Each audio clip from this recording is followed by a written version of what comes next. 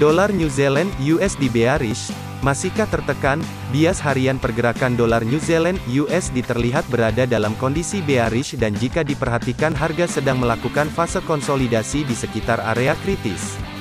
Jika pergerakan dolar New Zealand (USD) tertahan di sekitar area kritis pada kisaran 0,65658 sampai 0,65118 maka tunggu kemunculan bentuk pola candlestick bearish yang valid dengan memperhatikan juga indikator ADX bergerak ke bawah maka ada potensi harga akan menyentuh area 0.64924 Sebaliknya waspadai jika harga dolar New Zealand (USD) terus bergerak ke atas dan menembus level 0.65658 maka ada potensi harga akan berbalik arah dengan bergerak bullish ke atas menuju level berikutnya pada kisaran 0.65885. Sekian analisa forex untuk tanggal 31 Januari tahun 2022.